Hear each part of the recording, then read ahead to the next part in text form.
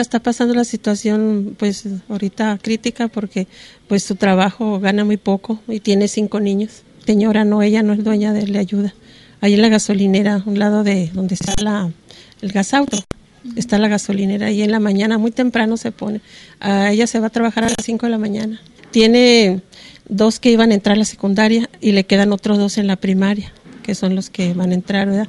Y la niña, pues por causa del uniforme, la inscripción, todo eso, pues no, posiblemente no, ha podido, no, no sé si va a entrar todavía, a lo mejor no, no va a poder estudiar, porque si no conseguimos el uniforme, pues no va a entrar.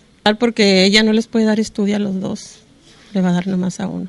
Pues de perdida, aunque sea el uniforme, a ver cómo le hacemos para la, la inscripción, no sé, de la secundaria sí, creo que sí hay inscripción. Esta en la colonia Astral es la única que hay. No, no en la Astral, perdón, en el Plan Libertador. Ahí en la Astral no hay.